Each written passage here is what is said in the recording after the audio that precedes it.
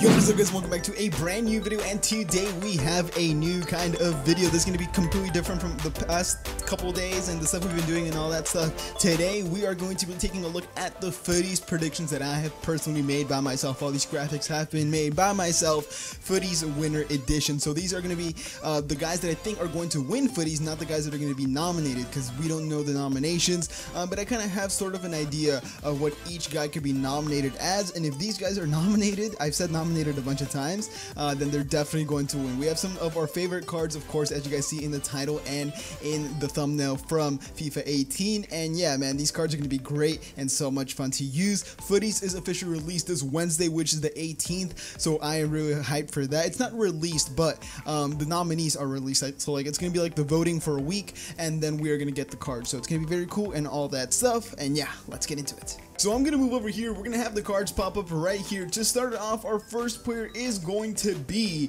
Meunier from PSG. Of course, he had a great World Cup with Belgium. Unfortunately, Belgium did lose against Brazil, or not, wait, they beat Brazil, sorry. And then they lost against France. And in that game, he didn't play, and you could definitely tell his presence was kind of missed. But a great card, 87 rated, center mid. I have position changed him. Some of these cards are position changed, some of them are not. Um, but I feel like a position change a position change Meunier at center mid was one that many people want because he's part of the Hulk Club and all that, and he would be a great, great asset uh, in midfield. Next up, another player that we do have is one of the favorites from not only the World Cup, but also one of the favorites from FIFA 18. We have Hirving Lozano, who is a PSV player currently and a Mexican player. Uh, he had a great World Cup, pretty, not, not, I wouldn't say great or excellent, I would say he had a pretty solid World Cup, um, especially in the group stage, but I have him as an 87 striker uh, FUTTIES winner. Now, I have position changed him as well because all of his cards are right wing and left wing,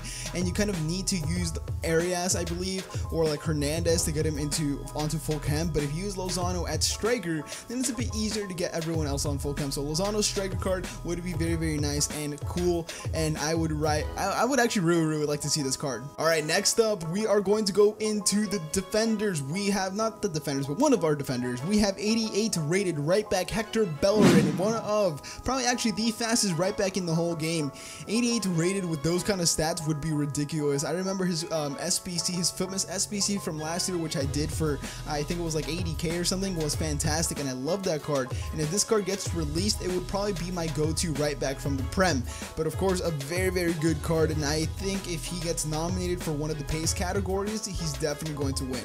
Next a player we're gonna get is one of the guys that didn't do too hot in the World Cup, but had a decent uh, decent season for City. Um, but yeah, he's overall a great player with a lot of flair. Didn't get that many special cards, even though he did have a path to glory this year. Um, we have 88 rated striker Gabriel Jesus, whose card looks like it's going to be crazy good if it does if it's like that those stats or that rating. It's gonna be ridiculous. But overall, a fantastic card. Four star, four star. Uh, he used to have five star skills, but he we all know how overused and how good he was in the beginning of the game. Now many people don't use him, but I think he's still a great card. And hopefully in FIFA 19 he's around the same rating as he was this year, so I get a chance to use him in the beginning of the game. And hopefully he's as good because I I used to love this card. Next up, we have some. These next, these couple, these next ones are gonna be are be, gonna be kind of like the annoying ones from FUT Champs that kind of ruined your day, kind of how they ruin my day sometimes. So we have a goalkeeper. We have the German goalkeeper who, if you didn't have enough money for Neuer, you would go which is 87 rated goalkeeper Ralf Fährmann, whose card was insane in the actual game, the 84 rated card. It was, in my opinion, the best goalkeeper in FIFA 18, and this card would be broken. It would be like Butland last year, but yeah, this Fährmann card would be crazy good, and I really do hope he is put into the game because he was very, very overused. Now, speaking over of overused, if Fährmann is overused, then Bakayoko is on another level. We have 86 rated CJ Bakayoko, who I have no doubt in my mind he will go ahead and get into this FUTTIES thing, and he will definitely go ahead and win his category no matter what.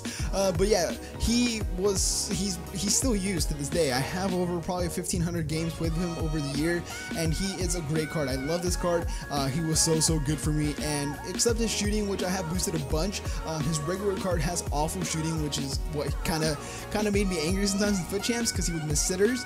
Um, I, I think they're going to give him a big boost, so he's definitely usable in all areas of the midfield. But yeah, Bakayoko, going to be a FUTTIES winner no matter what, in my opinion. Another card which has been used a lot over the past two years, and he was nominated for FUTTIES last year as well because he had 82 pace.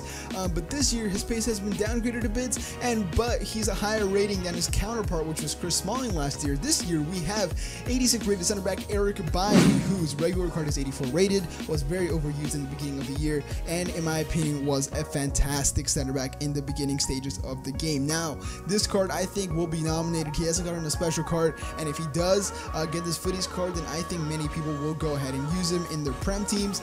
And yeah, man, he's gonna he, he has basically icon stats, so I I can't see why he wouldn't get chosen by the community. Now, second to last, we have probably the best left back in the game. His gold card is incredible, and this card just was used by pros throughout the whole year and competitive FIFA players, especially in FUT Champs. You, you saw this card used a bunch um, at the left back spot, especially in the 4-3-2-1 with an icon at left center rated and an icon at left center back.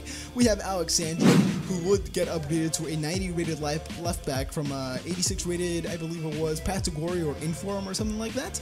Um, so yeah, great card, and or I think it's 87. I'm pretty sure it's 87. Um, but yeah, this card would be great. Brazilian, easy to link Juventus now. Imagine if we get when we get that transfer Cristiano Ronaldo, get that strong link with the Alex Sandro would be a great, great, great link up. In this card, I don't think there's gonna be a better left back in the game. Even Jordi Alba wouldn't beat him just because Alex Sandro has that height.